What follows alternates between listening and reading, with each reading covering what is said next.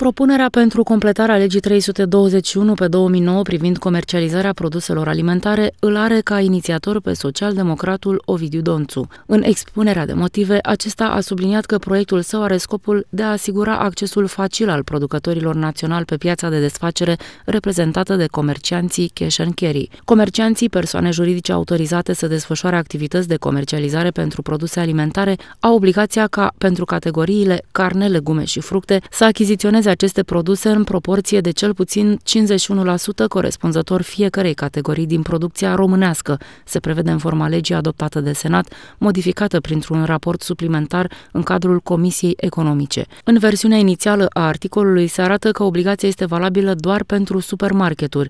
Forma finală a proiectului de lege arată însă că toți comercianții, persoane juridice, cu profil alimentar trebuie să respecte noua regulă.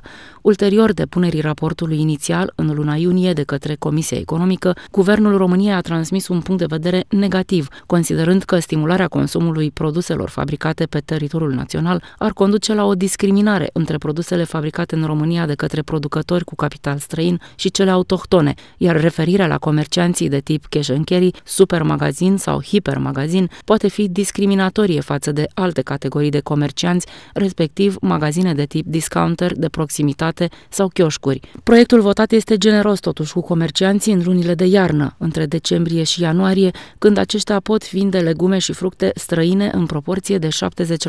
Nerespectarea acestor prevederi de către comercianți se sancționează cu amenzi de la 25.000 de lei și până la 50.000 de lei.